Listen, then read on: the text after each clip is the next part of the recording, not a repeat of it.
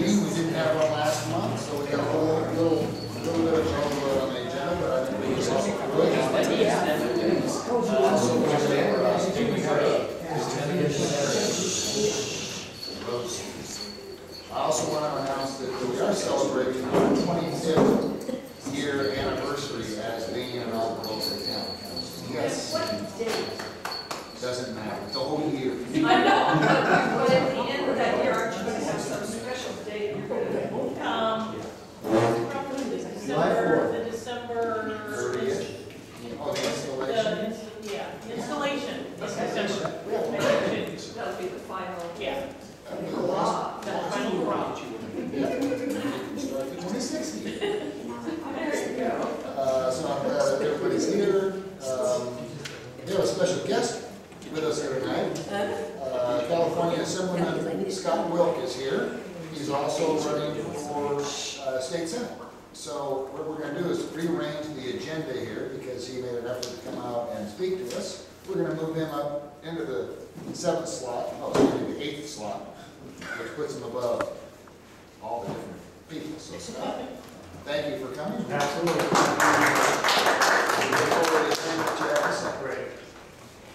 Oh, right now? Okay, great. You're going for Very it. better. Top dog. So anyway, I thought if you maybe just kind of brief on a few things and then just open up for any uh, questions uh, you may have. Uh, First thing I want to talk about, obviously, uh, Cemex Cemex mine. Uh, As you know, uh, the federal government issued, BLM issued the permits back in 1992, 10-year permits. To- At first, it was to and then Southdown, and now it's Cemex.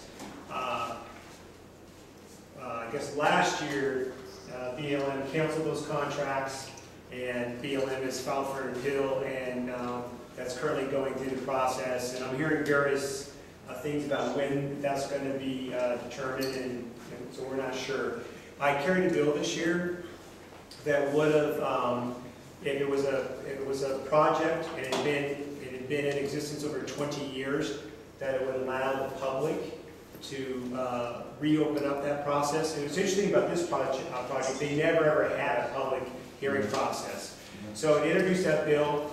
To my surprise, there was actually 86 projects that, that fell into that category uh, to, uh, according to uh, the scoring system by, uh, by the Appropriations Committee, uh, at a cost of $286,000.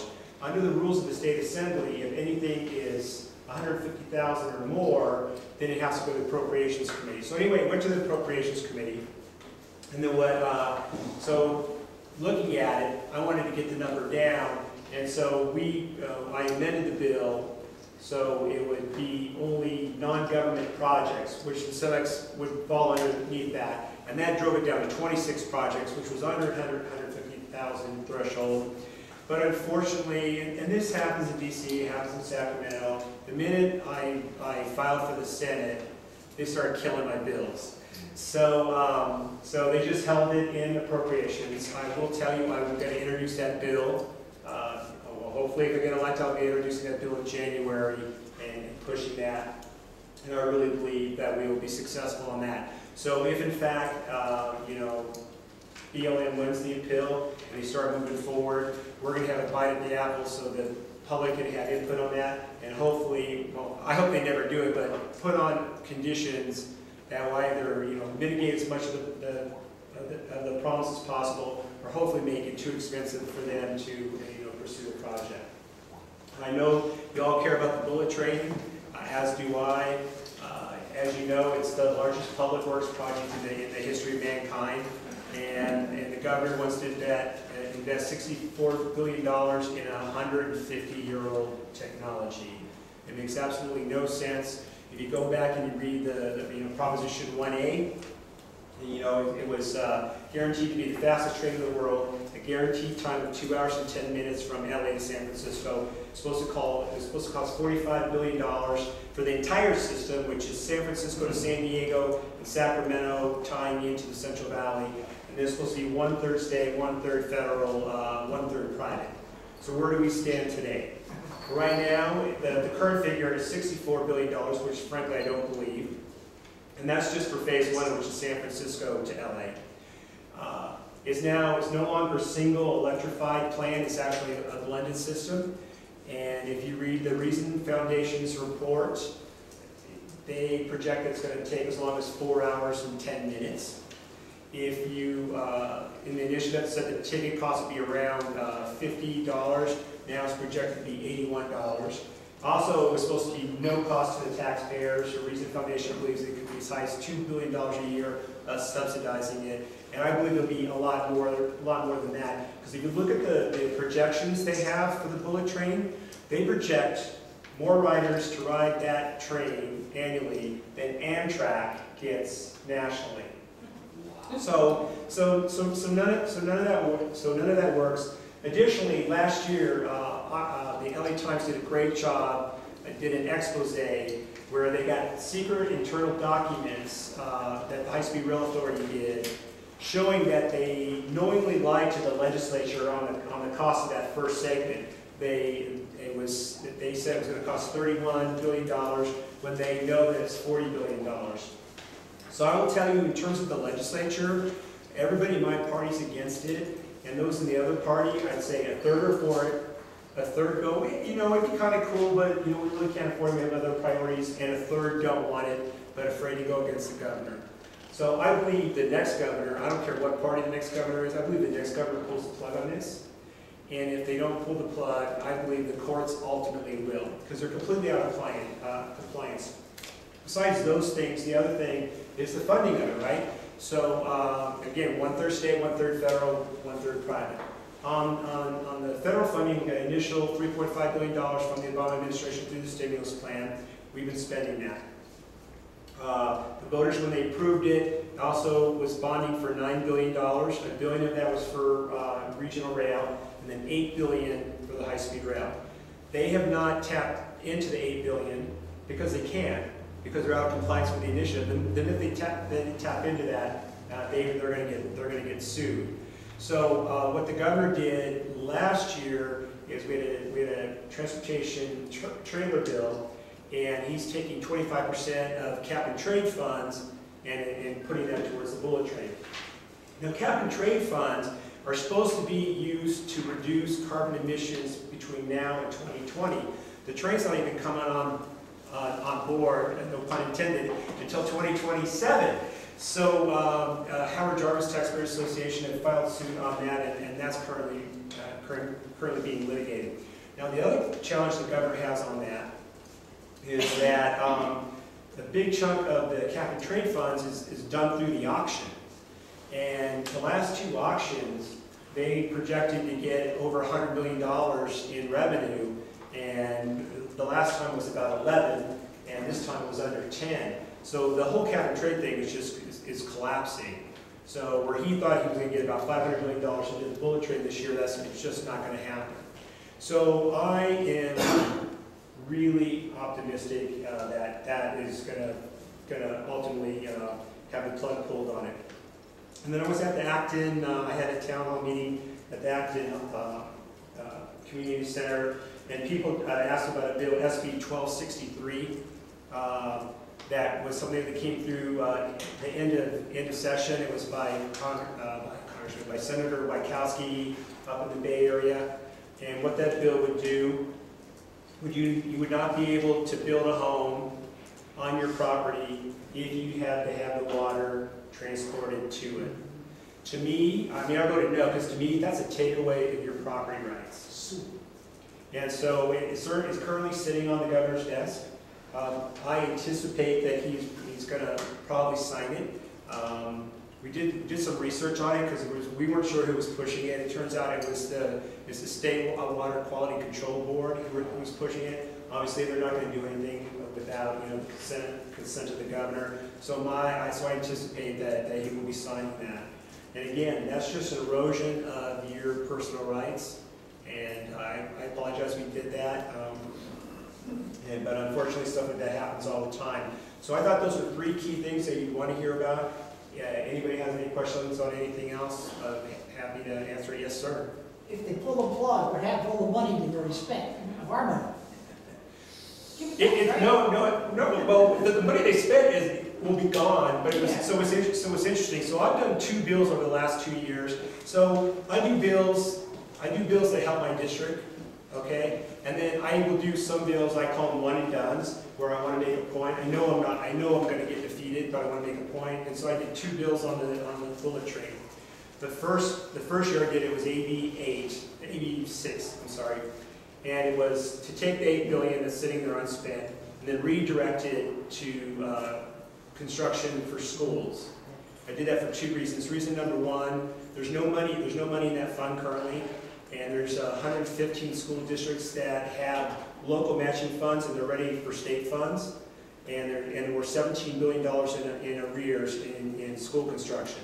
So those are shovel-ready projects that we need. So $8 billion obviously goes a long way toward meeting those needs, one. And then two, my friends on the other side of the aisle, they love the children. So I want to see, what do you love more, the children or the train? And they love the train more.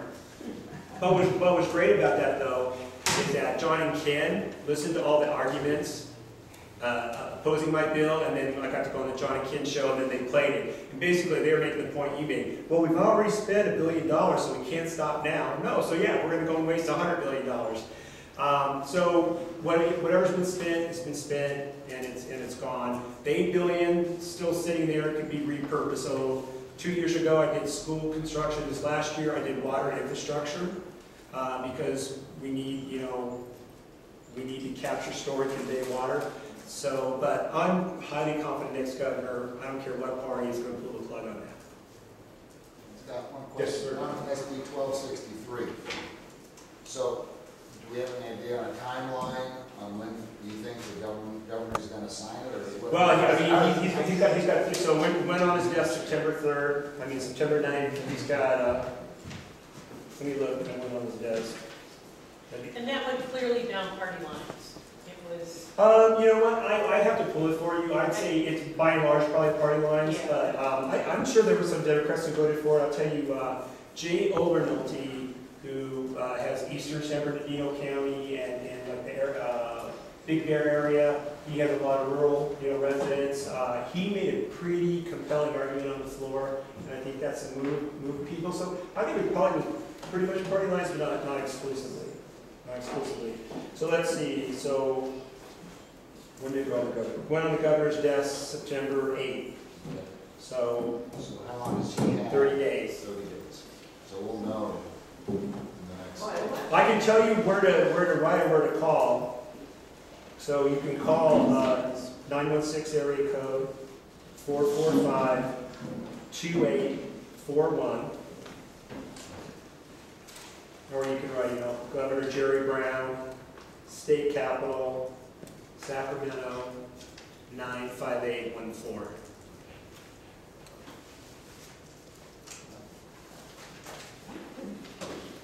Scott, is there any movement that you're aware of, of, or anyone, if he does sign it, is anyone willing to file a lawsuit or something to take it to the courts to determine the property rights aspect of doing this? Uh, I haven't heard anything, but let me, let me do some research on that, Lily, and I can get back to you.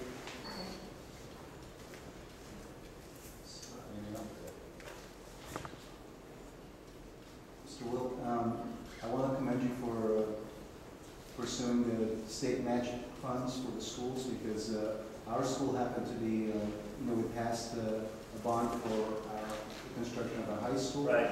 And uh, we were forced to build a- only a portion of our high school initially because we did not have the state's matching fund. And uh, we happened to be one of four schools uh, statewide that got the matching portion from the state.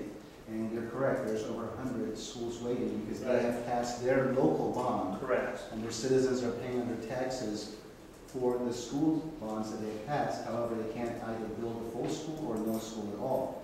There's some, you know, we went with a version, a watered-down version of the plan, you know, we call it Plan E.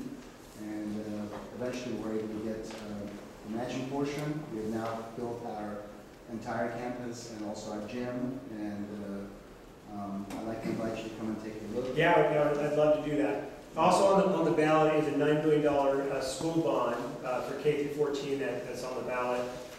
I think it's Prop 52, uh, whatever the first one is, It- it's the school bond, uh, nine, $9 billion. It was interesting, we tried to pass a school bond um, before the, before the 2014 elections. And uh, so we, we passed it out of the assembly, we didn't have a dollar figure there because we were still negotiating with the governor. And they went over to the Senate, and then they ended up putting in 4.5 billion, because we'd also had done the water bond. And the water, the original water bond that was passed by the legislature before I got there was 11.2. We pared it down because we took out all the pork, so it was 7.5. And so, so the Senate did 7.5 on the water bond, and then 4.5 on the school construction bond, and then Pat gave it to us, and we passed it. So I thought the governor would sign both, and he ended up vetoing the school bond. But this one, um, we did it through the initiative process, it's on the ballot, and so we have, a we have a chance to do that. What people don't understand about that, it's really, particularly smaller communities, in our interest to vote for that, because you, because you spread it out over the entire state, uh, rather than having your, your school district to have that entire burden of that construction. So I I, I endorsed that back last, last December, and it's, it's good public policy. That's a very worthwhile pursuit, and I hope it goes through. Uh, my question to you was, uh, a while back, uh, about two years ago, we learned about, um, Assembly Bill seventeen thirty-nine and Senate Bill eleven sixty-eight. You gotta tell me what they do, I mean, I I cast twenty-five hundred votes a year. So it's a AB seventeen thirty-nine and SB eleven sixty-eight. And what they in effect did is they take, uh, they took away our water rights uh, to our groundwater, where private parties like myself and many people here who have their well, um, the state is seeking to basically take, uh, actually it has, through the passage of these bills, that the government, you know, the governor pushed through, uh, we no longer have rights to our groundwater where uh, down the line, it could be that they put a meter on your well or restrict the usage of it in other ways. Um, Is there anything you can tell us about that, or is that something? Yeah, you know what, I'm gonna, yeah, you know what, yeah. Can I, can So- look into for us, please? So, um, though, both those bills were part of the process that's called gut and amend. So what you learned, and, and we're gonna be able to fix that this year with Prop fifty-four. So what you learned in school on how the legislative process works and how it works in Sacramento is, is different. So what you learned in school is that bill's introduced, goes into, goes to committee, right, and it's heard. And then if it gets passed out, it goes to the floor. Or if it has a fiscal impact, it goes to appropriations, then to the floor. Then it goes to the other house and goes through the same process. And then if they make changes on that house, it would have to come back to the house of origin for concurrence, then it goes to the governor. And by and large, we do it that way. But at the end of session, um, the majority party has a process called gut and amend. So um, in the state assembly, we have 80 members. We have what's called the rule of 41. So basically, if you have 41 votes, you can do almost, other than raise taxes, you can pretty much do whatever you want to do. And what they'll do at the end of session, they will gut bills, and they will put in completely new contents and just slam it through at the end of session. Both these bills were gut amendments at the end of session and undermined 115 years of of water rights and water case law, uh, because, you know, as Eman- Emanuel said when he was, you know, chief of staff to Bill Clinton, he's like, you know, never, never let a good crisis, you know, go to waste. And the whole point is, is to consolidate power in Sacramento. That, that, that's what it's all about. And these gut amends happen all the time. I'd like to share with you, probably the most egregious one that's happened in my time in the legislature.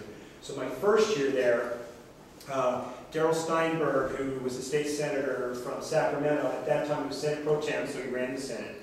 And he had a bill to expedite uh, the Sacramento Kings new arena. So you may recall Seattle, uh, an investor group in Seattle wanted to buy the Kings. Local group was able to keep it there, but in order to be profitable, you know, they wanted a new arena.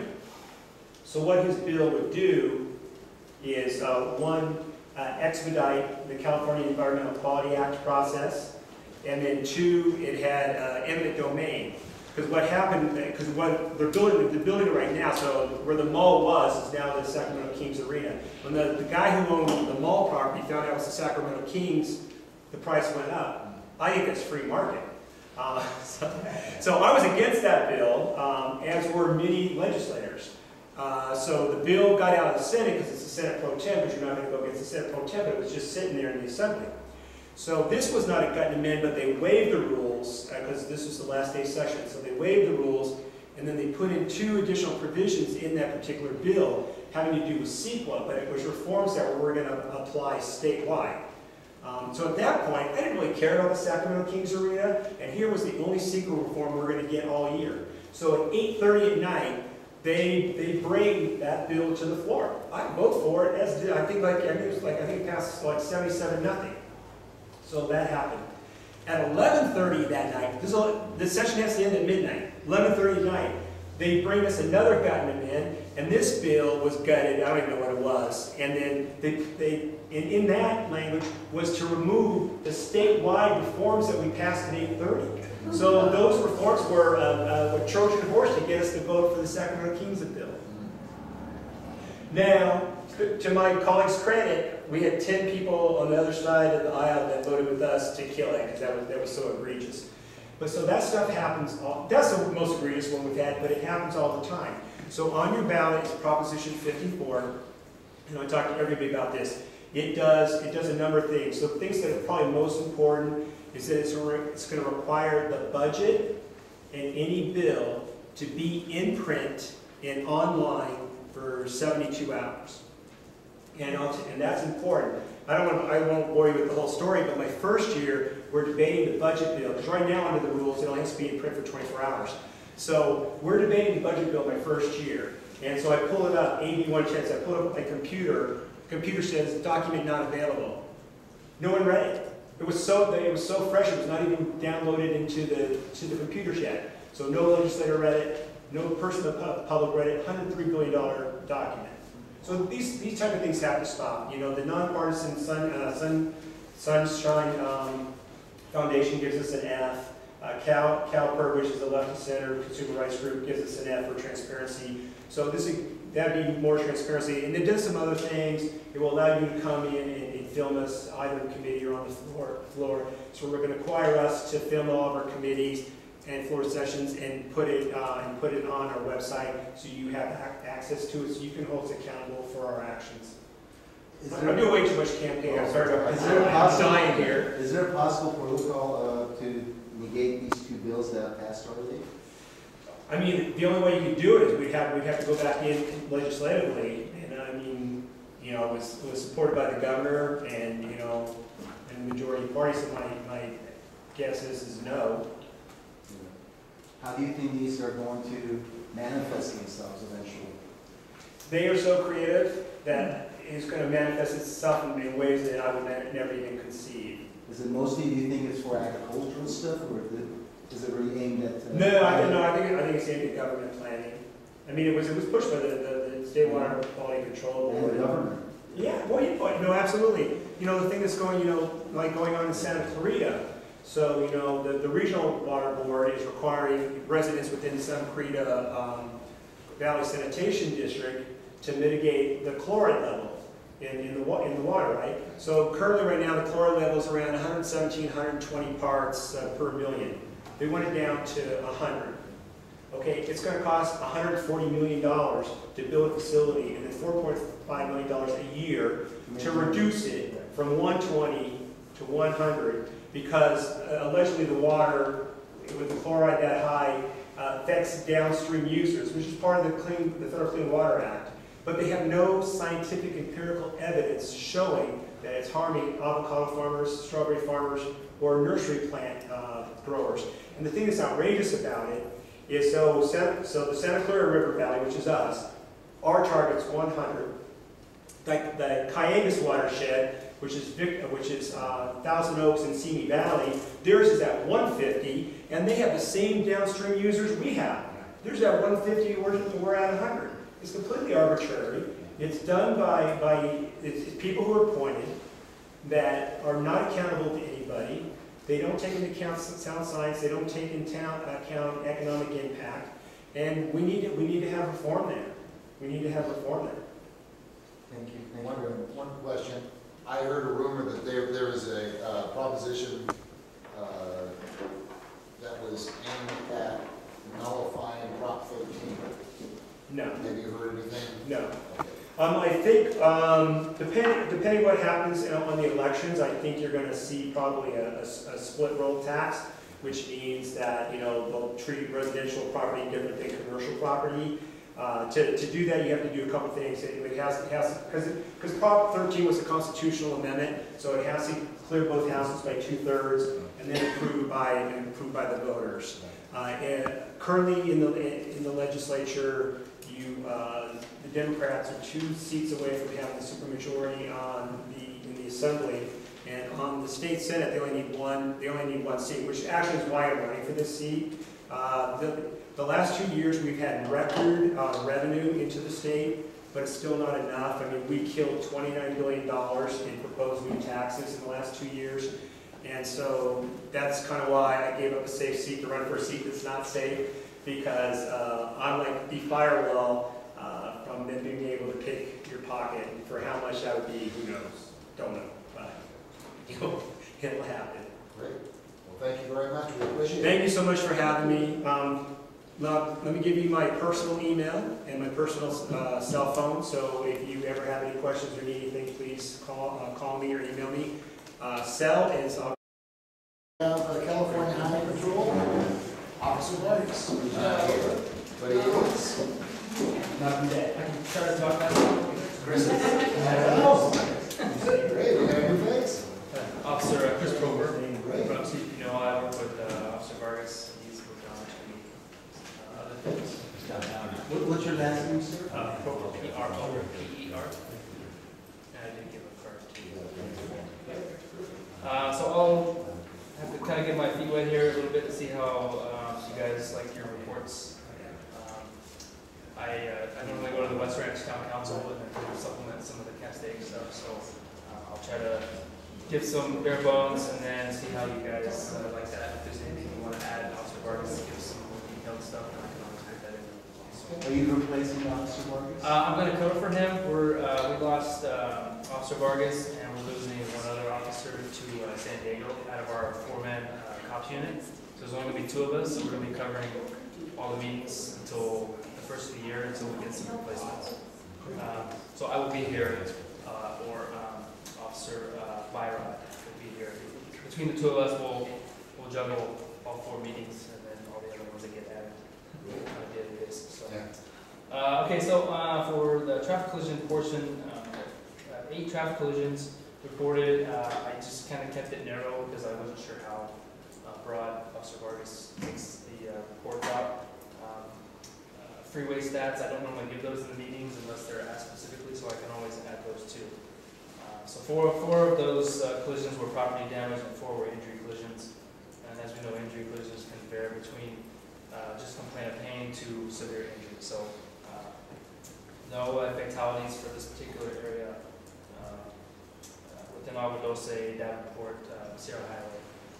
We did have a, uh, a a one uh, solo motorcycle fatality on Sand Canyon at Thompson Thompson Ranch. Uh, It was uh, solo collision and then the, the rider succumbed to his injuries. So that's a little bit outside of where you are, but if that's what you guys prefer, I can always go with kind of outreach. Uh, and then we did lose a, uh, Caltrans employee on the fourteen around Crown Valley. That's not necessarily for Santa Clarita purposes, New purposes, but it is closely associated. Uh, so it's always the big thing for us is Caltrans and Highway Patrol and the sheriff, we're always putting ourselves out there for uh, traffic-related things. That's where we lose a lot of our personnel. So uh, we always advise, you know, to slow down for the cones and all those things. Always move over to the right. Unfortunately, this was a commercial, uh, commercial truck that collided with this, this employee. Uh, So they were, uh, I don't know the full details on, on these because they're still under investigation. So as that kind of comes out, I can, if you want those, uh, that information, I can provide that. I don't believe there's any um, uh, uh, alcohol or drug-related uh, in this case, but uh, it's probably more likely uh, inattention, which is most of the time what these are. Uh, Only the arrests associated with, with um, the close proximity of, of uh. Uh, I can always expound on those two. So uh, the main big thing I wanted to cover is uh, we will be helping out uh, Rosie at the uh, parade on Saturday. We'll have some of our volunteers out here. They'll be in our patrol cars and and white shirts, so we give them the same authority to do traffic control. So please, if they, you run into them and then, you know, thank them for helping out because they're volunteers. Uh, And then we'll have a couple of our marching units out there uh, in uniform, I'll be out there. uh, And a few others will be there too. So uh, hopefully we'll be able to make the uh, parade safe as it's been the last, uh, last few years. So uh, we're definitely going to look forward to that. Uh, And then the big thing for, for us for this month is child safety awareness is September. So we always want to focus on the child safety aspects of, of um, of parents. So knock on wood, we do fairly well with everybody. Uh, And then we, uh, enforcement wise, we really hit hard on, on child seatbelts and seatbelts in general. So uh, those are some of the big factors that, that we we lose uh, residents in California. So that's all I, that's all I have. Great. You guys any questions? First, welcome.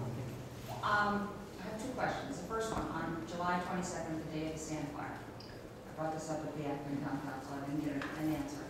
Um, they were filming at the halfway house. At that time, they had just closed fourteen freeway at Sand Canyon. So everyone was getting off and taking Sierra Highway, and they were coming down Sand Canyon to take Sierra Highway. They were filming at the, at the halfway house. Two CHP officers were there. The traffic backed up really bad. It took twenty-seven minutes to go from the stoplight at Sand Canyon and Sierra Highway to Bill's Liquor Store. Twenty-seven minutes, Yeah. because they were filming. Now, shouldn't public safety take precedence over everybody, not only Acton, Agua Dulce, Palmdale, Ellis, everybody that had to go home mm-hmm. had to take Sierra Highway on a Friday afternoon. Right. The, the officers that, that are assigned to these movie details, they're paid, they're paid, the movie, the movie companies pay for their services. So ultimately, they're, they have a, a public safety responsibility. If there's, if there's a, DUIs, uh, reckless, anything that, that are gonna cause a big, a big issue. Traffic, it just depends on who the um, supervisors are at the time to whether they determine whether they can just cut, cut it there and now deal with the traffic that's out there. So I don't know who was out there working it, and a lot of them will get, um, because we are paid for our services at the time, and we're not working for a regular, um, regular paycheck, so to speak. Uh, We're assigned to work with them and kind of, but we're still required to make sure that public safety is important. So that one, uh, that's kind of, they, they were kind of put- in some situations they may not have been able to, to be ready to handle, because they're probably trying to do, they're probably getting pushed to do one thing over the other. Uh, You know, I can bring that up in, at our office and ask if that's something that we will, uh, maybe look into with the film industry and and maybe cutting our losses with that. Yeah. And- I guess the, the situation here would be that under normal circumstances, under normal, uh, uh, the normal flow of traffic, that would not have been an issue. Because not too many people go over the hill and Sand Canyon there and then go right, don't- you don't get- almost nobody. So at that point, you had maybe one hundred times the normal flow of traffic. there. Absolutely. For, so, I guess in the very rare occurrence that, you know, it could happen that there's a film, filming going on and, uh, um, you know, and an emergency, maybe a part of the standard operating procedures could become that, you know, uh, we take a look at in that area of emergency, what filming is going on. Sure. Even that's probably gonna be unlikely, because let's say we shoot in this area maybe twenty-five films a year, Right. so that's, you know, so it's unlikely to be going, so it's it's just a very, very, uh, you know, uh, rare occurrence, I just want to Right, and Clarify. within, and it always comes down to within there's contracts, to get the contracts come through and all this other stuff, so I can, I can speak with our captain and see if there's something, um, you know, maybe some verbiage that we can put in there saying that, you know, basically we can, If there's we an can, we emergency. can halt the. An ambulance could not have gone through there. Sure, I mean, no. the traffic was bad, because everybody It's, thought it was working on it's Friday. major traffic. Well, the, the thing that always concerned me is that the, the, the studios probably pay less than three thousand dollars for the road permit and the staff. Sure. And all of a sudden, for three thousand dollars, they own that road. Right. They own it. Yeah. And because the officers are working for the studios, obviously, they're, they're gonna do their best to do their duty, to take care of who's paying, who's paying under that circumstance. Sure. But it- it's like in certain situations, you know, they don't own the road, they're, they're, they're getting a permit to, to, uh, use the road. Right. But we're, we're, This was an we want to use the road too, so, you know, I, With- Within these contracts, we, we know that there's, you know, with everything with major roadways, they don't, they don't ever, they never uh, own a road completely. So So we always, there's always traffic, uh, intermittent traffic in there, and there's always the uh, ability for us to, to open or shut however we want to. It's usually just like a five-minute wait, you know, at the Yeah. most, and then they let everybody go, and then they'll stop. Yeah. There's gotta be a thing when they're shooting a film, if an emergency happens, that's something, you know, takes precedence. Right. And gotta I've, be- I've never looked at a, a full, full-on Yeah. contract and, and permit process, I'm sure there's some verbiage in there too. Um, I don't know, I Thank don't know what's in that, but I, I can have them look at it and see if it's something that they can, Thank you very they much. can, you know, that's all, that's a, that's a special circumstance. Mhm. Yes. And, but, but it doesn't mean it won't happen again. Delayed it a little bit, but Sure. it was Yeah, we, we found out a lot, of- a lot of things from, from each of these incidents that we can, uh, Learn from- learn from fire, we learn from stuff, how, how we're gonna close freeways, how we're gonna change some, uh, some routes and do things. So you learn from a little, from each, from a little bit, uh, or from, you learn a little bit from every incident that And you you. guys were great during We fire. learned a lot. We learned really want to thank you for that. You guys Because were great. I, I, I just think if the fire was closer and would put anybody Sure. in that at risk. It would've shut, it would've shut, it would've probably. Right, but, but where's that line? Sure. So I- I- if you, if you can, I- I can make the, make the, check the inquiry and ask and see, you know, if it's something, because I know we've done, in the past, some movie details, and we've, we've had uh, pursuits coming in our direction, and we've shut down the road because that's, you know, ultimately gonna cause some injuries, and that's an emergency situation. So, I, it's just, it's gonna be, without the verbiage in, in, uh, in our contracts and, and knowing that ahead of time, it's gonna be uh, discretionary ultimately, so. One other question, I know that you're spread very thin, but the driving on Sierra Highway is to the point where if I have to go twenty miles out of the way to not take Sierra Highway at this point, I won't. The speeding, the passing on two lanes, where that, but the passing, where it's not passable. Sierra Highway, there's only a few paved, and all illegal, Right. That you can pass, they're passing. I, I'm doing, I put my cruise control at fifty-seven miles an hour, and I had a guy flashing his lights on me, passing in a lane uh, that wasn't uh, over the double yellow line.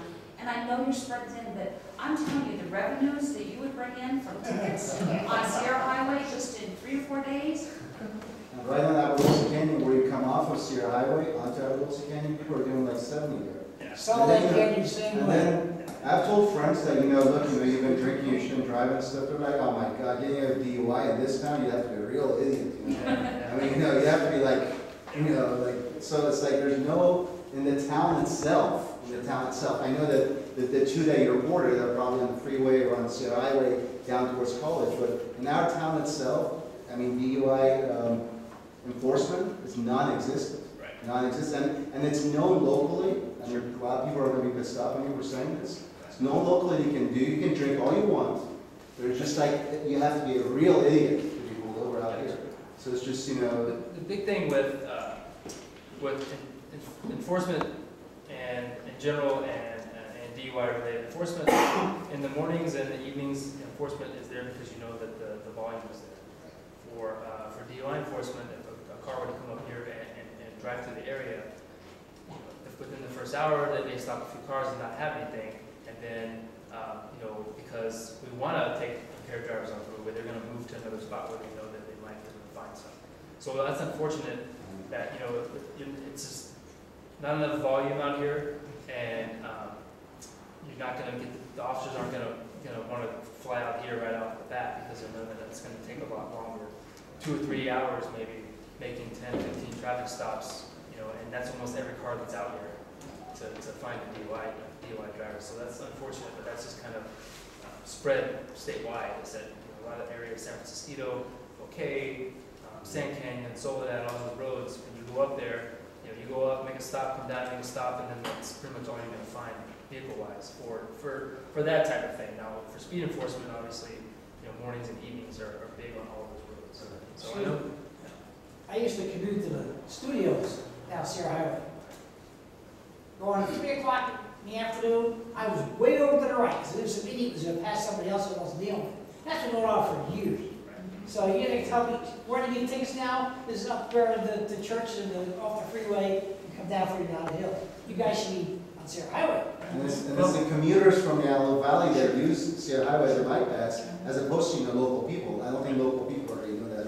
we have, we have, off- we have officers that, that, that come out here because they like to work out here, we get them out here. You know, and it's, it's, um, when you have, you know, and I was, go fall back on this is not a reason to fall back on, but when you only have, uh, for instance, tomorrow we only have three units working at once, and that covers six hundred and thirty-four square miles.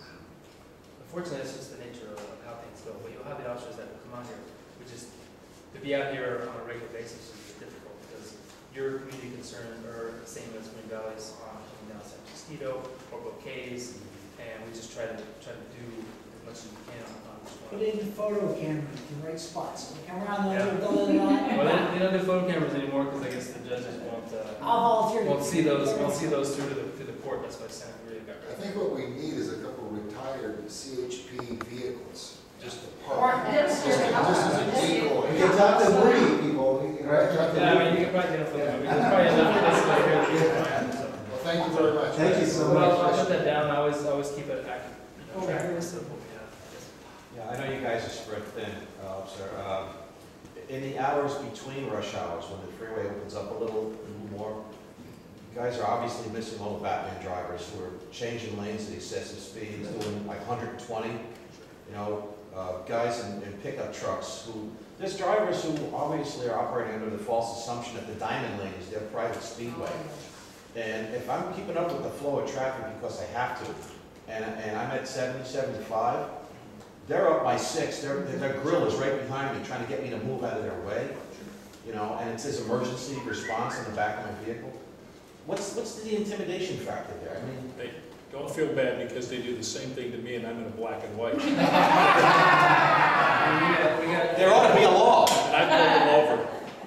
You Yeah, can we- do that. We get, we get past, we drive, we drive a, There ought to be a a, lot of a- a white patrol vehicle a lot of times, because we can kind of get in some areas and and surveys and things not being seen as, as much, and we get people passing us, you know, and Yeah. it's just our patrol out there, I mean, it's not, it's not written in. I mean, at the speed these people are going at, they might as well have wings. Yeah. You don't need high-speed rail, so you have to go Tell I, I- you know, I was just surprised there's not more, more fatalities because of how fast these people, and, and switching lanes, weaving in and out of traffic. Sure. Yeah. And crossing the double double line like. No, it's, Yeah, it's, it's a, it's, if we That's- take the a license number down and call them up, doesn't do a thing, right? Uh, if you take the license number down, you call us with it, we, we have, uh, uh, letters that we send out to them. That's as much as we can do because door knocking just, it's, um, they don't want to put us into an intimidation factor and us not seeing the violation themselves. We don't really have first-hand knowledge, so we'll send out these letters and I rarely see, um, a repeat offender from these letters. A lot of them are San Francisco and they're passing doubles and it's just, and the same people are traveling that road and I don't get the same car. So if you do have those, you can Everybody always. doesn't turn them in though. Yeah, you can always, always provide those and we'll send those letters over and, and once they're repeat offenders, then we'll have some supportive information where we can actually door knock and. What happens, what happened to the CHP, uh, aviation division? Uh, I don't wanna get started on that, but. You jump It's, it's there, we have a, we have, um, a helicopter, or two helicopters and, and two airplanes. They're in Fullerton, which is basically, we share them with Orange County, because that's the only one that's kind of area. There's another one, um, uh, uh, Whiteman, I think, has one that work, but they work out in uh, Apple Valley and out towards Victorville and that area. So, um, we brought them in for a few of our, uh, operations for, um, for, uh, uh, speed enforcement, but a lot of times they're just, they're just tasked with everything else, they're trying to get search and rescue, and it's just, it's, it's just difficult. And then here with the, you know, the way that the, um, you know, our, kind of our mountain ranges are and, and hillsides, a lot of them, you know, will get over here because they're coming so far away. By the time they get here, their fuel is, is almost at, at a, uh, at a loss, and then they have to start. Telling you, if you had a chopper over, over fourteen, it'd be like shooting fish in a barrel. There's, there's one, there's another, there's another. We used to have, we used to have it, and we would use it on the five freeway, uh, between Templin Highway down to, um, to Castaic, and it would work really well. But, uh, it's just, it doesn't happen as much as it used to, and that's probably many different reasons. Thank you very much. Thank you. Appreciate it. All right, great. All right. Soledad Canyon, on the weekends, bicycles. Those club, we're looking at fifty guys at a time, four abreast. We had right there for road, no problem. But problem is, they get, they're not going fast enough, they won't go over, and idiots go around them. Double yellow line, I don't, but, you know, somebody gonna get nailed. Sure, you know, and, and bicyclists, you hope they would learn their lesson, because I know there's been quite a few fatalities in this valley with bicyclists, but it seems like it's, they have their own agenda, of how they want to do their. But, you know, we will, if we, we're encounter them, we'll def, we'll, but we probably won't do it enforcement wise, point over, but we definitely will notify them through, um, through the PA that they're. You know, like, doing just that. go over a little bit, you know. Yeah, I mean, it's, it's, it's kind of the rules of the road, they should follow it, and sometimes they don't, especially when they go on large packs. Yeah. yeah, they're Saturday and Sunday. Okay, Great, thank you very much. Thank you, very great. Thank you. Now we have officers, Scott Short, our local sheriff's department. Well, good evening, everybody. Good evening. And to tack on a little bit of that, so everybody remembers, it is against the law to drive a golf cart down Sierra Highway, Soledad, Agua Dulce Canyon, Except for, except for the parade. They were And, not- and the shoulder of the road is not considered off-road. Yeah, off-road motorcycle is the same thing. Have you ever pulled her over? Well, that's a whole different issue, so that's, but, and your electric vehicles that have a license plate on them, some people have those, you gotta read the rules, it says that they are not allowed on a roadway whose speed is greater than twenty-five miles an hour. So if you can find one of those around here, good luck. So, because I've stopped several people recently, and they're like, oh, it's an electric vehicle, it's licensed. No, Sierra Highway is fifty-five miles an hour. Soledad is fifty-five miles an hour. You can't be on here. Sierra Colony. Sierra Colony, you could, What about Darling Road?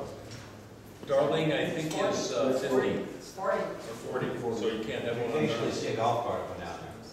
So unless it's turbocharged with three eighty-nine, I don't know that it's gonna make it there. All right, um, hope everybody's doing well. Good. Glad everybody, or mostly survived the sand fire. Um, So I was on vacation for the start of that, and I probably spent four to six hours on the phone with our emergency operations, telling them how to find homes in this area, because they had no idea. Which was okay, I had my computer up with a map going, okay, this road here, Briggs goes this way, Young's Canyon goes this way. We only lost a few homes, um, anybody's been back there, pretty much Oasis Park was just wiped out. The caretaker's quarters is about the only thing that's left there. It, it missed the backside of White Rock. It missed, uh, it, on the real Market, it went to the market, around the market, around the house, and missed, and got everything else. Uh, it got the riverbed of KOA, and it went all the way up to Shambhala, and got part of their fence.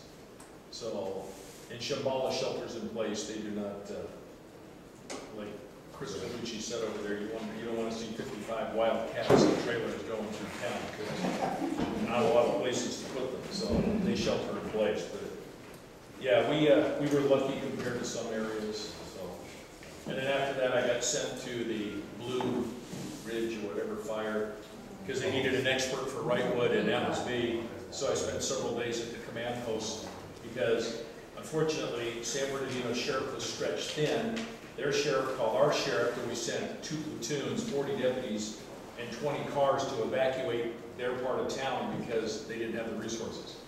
So we spent, we were evacuating up in San Bernardino and that whole side and, and uh, Phelan and those areas, so.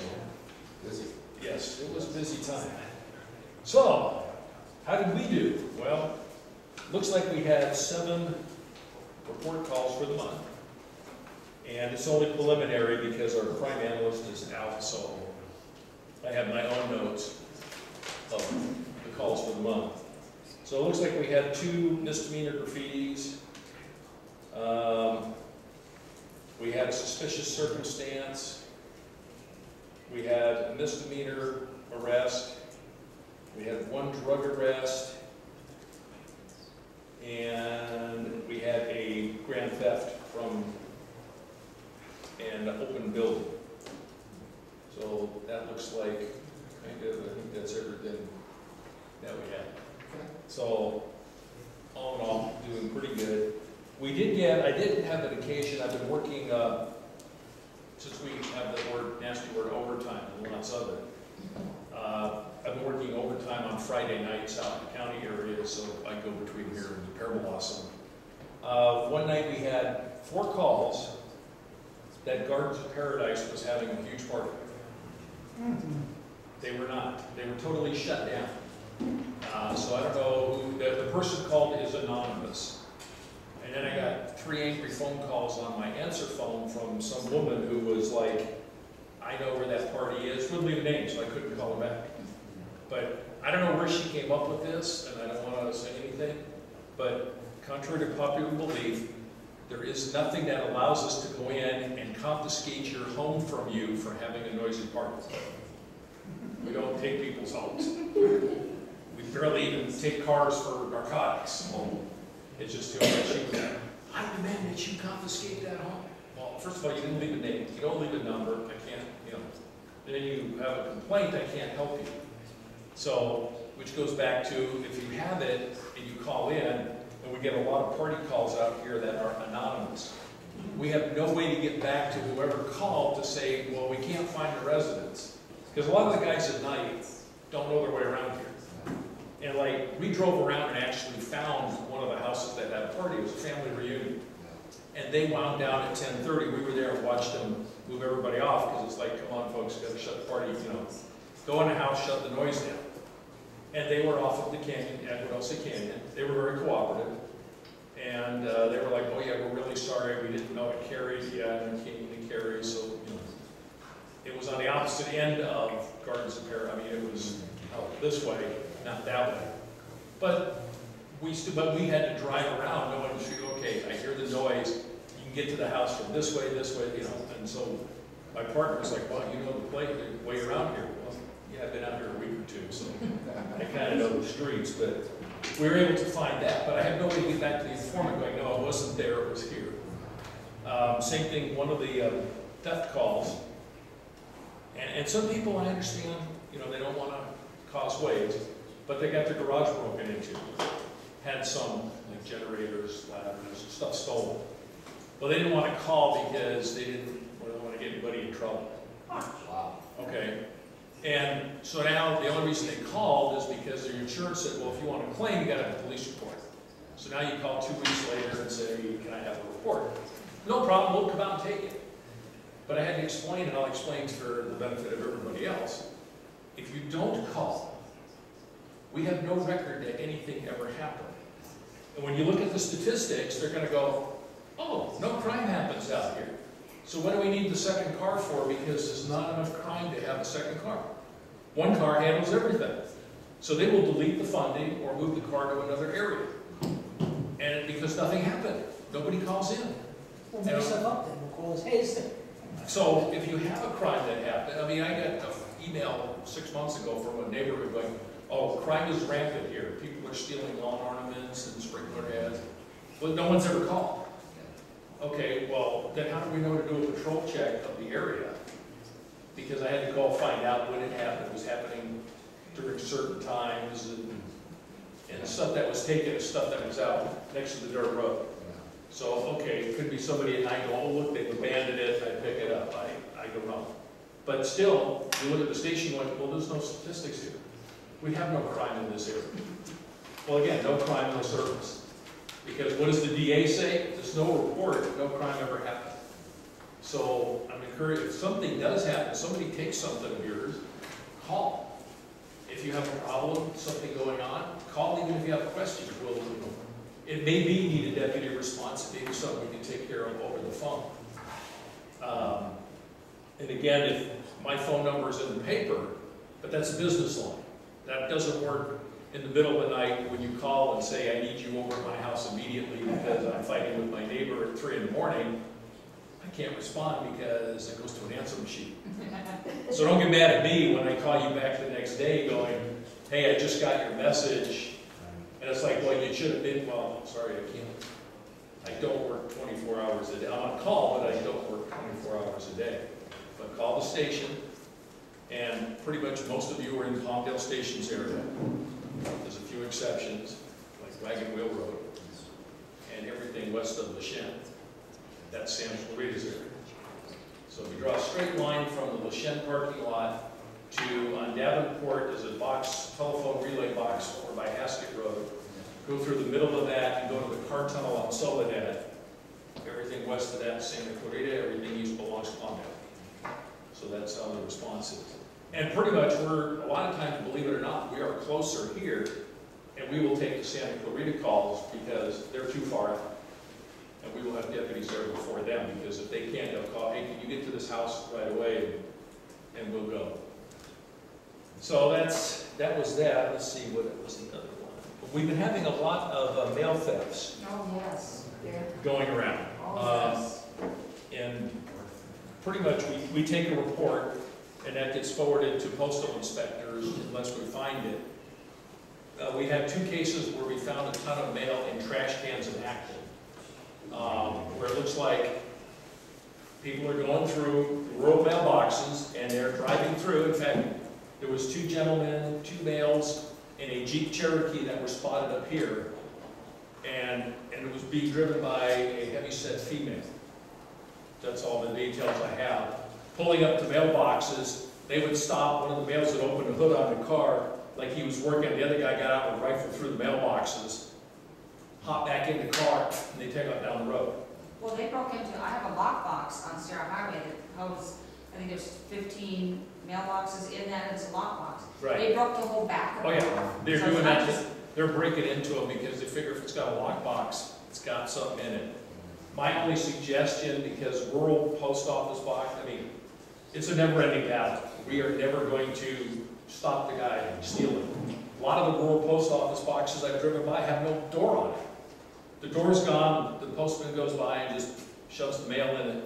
Well, the next guy comes along and goes, and the mail's gone. They go through and take what they want, and the rest end up in the trash. Uh, over off of um, Cedar Croft and Y eight, today, they found like three bags worth of mail from this area that was basically gone through, and all that was left was the circulars and the the occupants, and you may be the next one on Public Publishers Clearinghouse, so the important stuff was gone. Shannon Valley and Shannon uh, Road got hit too. Yeah, they last get week. hit, They got a picture of a, a maroon colored car. yeah, but, license. yeah, how many maroon colored cars, unfortunately. But they did get a, a copy of license. If they got a license plate, that's better, yeah, because it's reported. And I told them to notify you right away. Yeah, yeah, I didn't, uh, I don't know that I got a call on that one, but I got a call on, um, Cap Rock, I got calls on, um, a bunch of them in Acton. But, yeah, it's, it's, and it's getting worse at this time of year. This is the holiday time. So holiday time, that always picks up because people are ordering stuff in the mail. You know, you've seen it on TV, the person runs up and steals the package. You know, I, I've had words with the guy that delivers to my place because they they just leave it out in front of the fence, on the street. It's like, at least put it behind the fence, but, or over the fence, but no, they'll leave it right out there, and it's like if nobody's home, they come home going, oh, I got a package, how many did I miss? You know, so it's hard to, you know, it's difficult, you just have to be watchful. But people will steal, if they want to steal it, they're gonna steal it. The volunteers on patrol cover that, you have more guys? and Well? Volunteer, first of all, you have to get the volunteers. Well, no, I'm saying you got more volunteers, I'm saying. We have six right now in this area, and they're probably out four times a week in cars of two. And, Are we all more guys? and they drive around, but still, most of this happening at night. We don't have, unless you ride at night, and you gotta know where to go and where to look, and that's, that's the harder part, so. Great. All right, Thank you very much, we appreciate. Scott, everything. one quick question. You said there were seven reports, but you mentioned only six items. Oh, Is there another Let's see, which one did I miss? Two graffiti. Or- uh, Oh, that's a penny, petty theft from, uh, from a vehicle. There's that one. Thank you. Penny theft from what? a vehicle. So there's a difference, uh, like, real quick, if, if you have vehicle, stuff in your car, people do it all the time. If your car is locked and they break in, that's a vehicle burglary. If your car is unlocked and they open the door and steal it, it's now a theft. And a burglary is a felony, and in most cases, lets us over nine hundred fifty dollars, it's a misdemeanor for the theft. Lock your car. So lock your car. I know it's this area, but, yeah. And insurance companies, some of them, some of the bigger companies and even small will not cover you for you leaving your doors unlocked. So if your laptop or something is stolen, I've had people tell me that they've called, and I can't name the companies because she'll figure that people don't pay. They've been told that, oh, your car was unlocked according to the police report, sorry, you're out of luck. So some will pay off as part of, you know, oh, in your driveway, we'll put it on your comprehensive. Some are good, but others are like, oh, you left your door unlocked, yeah, it's your fault. So, Okay, great. That's what we got. All right, Thank you. well, uh, oh, and my, uh, new station captain. Yeah, He would like to come to the meeting sometime, so if you get, okay. give me a date and I'll put it on his calendar, and he will be happy to come out. Dennis here is the, who's been there for years. Uh, he was our operations lieutenant, he was sergeant, training officer, sergeant, lieutenant, operations lieutenant, he did a stint at headquarters, and then he got promoted to captain and he's back, so Great, he's a real nice guy. Sounds Real good. And responsive. Dennis Kneer, K N E E R. The N is silent. Thank you very much. All right. All right. Next up, we have Los Angeles County Fire Department, who's not here, Stephanie English. So we're gonna go right on to Acton, Agua Dulce librarian. John, Elford. Glad to have you. The colored flyers.